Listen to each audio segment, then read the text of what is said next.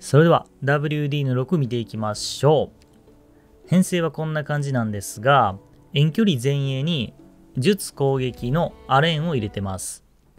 低レアで代用するのはちょっと難しい場面もあるかもしれないので注意が必要です。まあ、例えば、ミッドナイトとか、フロストリーフとかだとちょっと厳しいかもしれないですね。まあ、あの、ソーンズとかシルバーシュ、まあ、あの、あと星5、まあ、使えるんやったら全然大丈夫やと思います。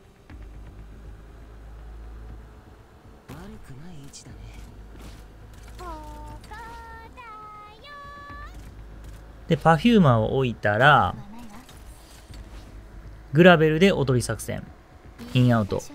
グレネードランチャーを受けて撤退。で、3番の位置にグムですね。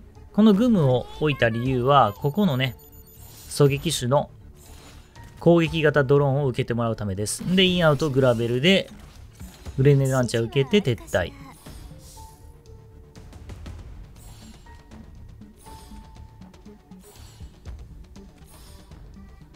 まああの、代用難しいよって言ったんですけども、実際、あの、配置可能数はね、まだ3つも余ってるんで、この辺全然入れれるんやったらね、まあいろいろ工夫はできるとは思います。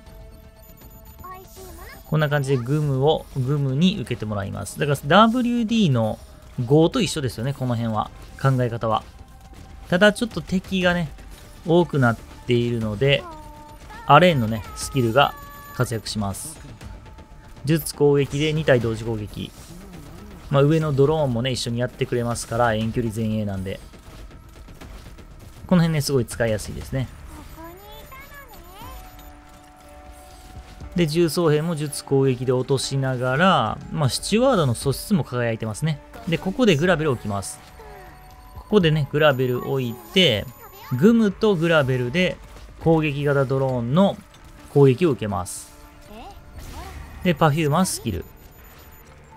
この辺痛いんでね、ここはあの見てもらったら分かる通り、あれ後ろ結構やばいですよね。で、結構ギリギリなんですよ。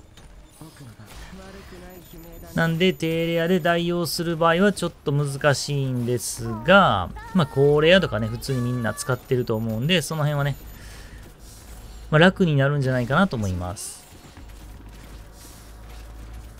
で、こうグラベル置いた理由は、まあ最後にこの狙撃手がいっぱい来るんで、まあ攻撃受けてもらいながら安定してクリアするっていうような感じですね。